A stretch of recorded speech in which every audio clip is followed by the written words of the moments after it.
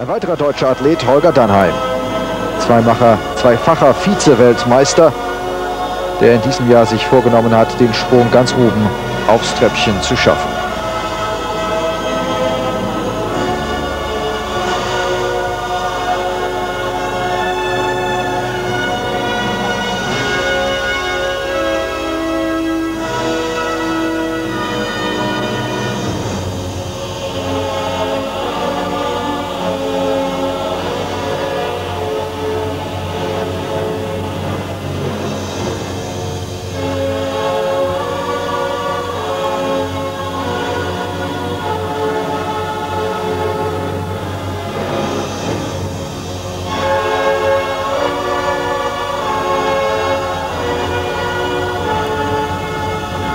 Sehr schön choreografiert.